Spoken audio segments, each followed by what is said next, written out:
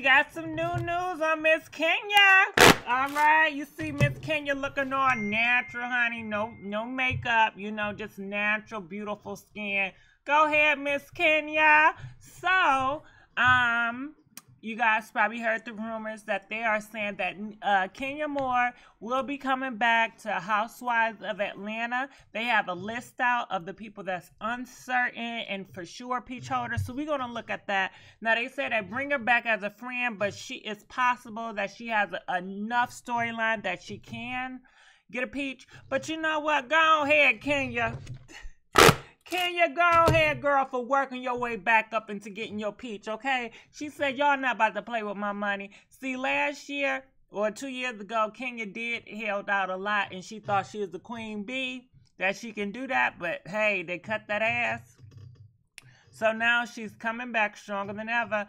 I wonder if her man gonna be more in there. I'm sure we're gonna see um, Brooklyn Daly more. Um, so it should be uh, interesting. So just just let's look at the roster as you guys can see. Um, hold on. Damn. Okay, there you go.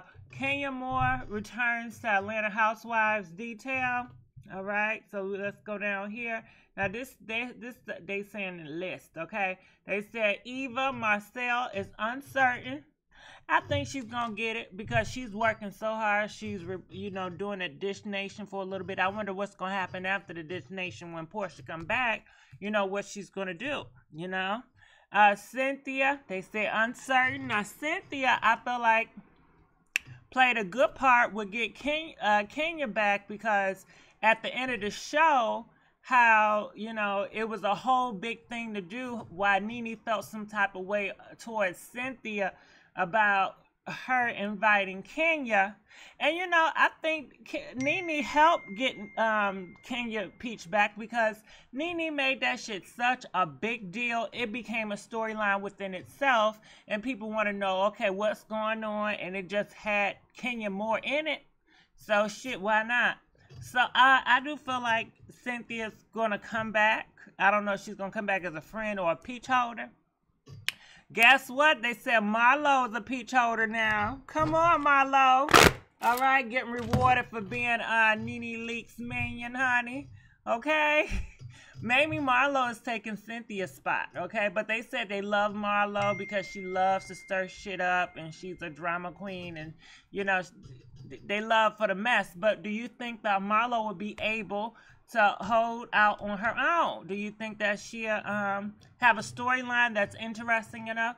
So Porsha, Peach Holder, Kandi, Peach Holder. Now I thought Kandi. Okay, well I guess she coming back. Nene Leakes, Peach Holder. Um, Tanya, Peach Holder.